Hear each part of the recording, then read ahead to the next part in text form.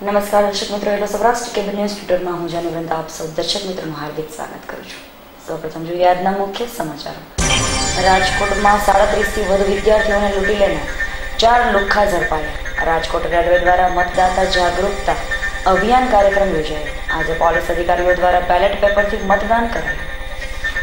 હવે જોઈએ સમાચારો વિગતવાર. બનાસકાંઠાના વાવ તાલુકાના અસારા ગામે સરકારી ઘાસચારો ભરેલા ટ્રકમાં આગ લાગી હતી.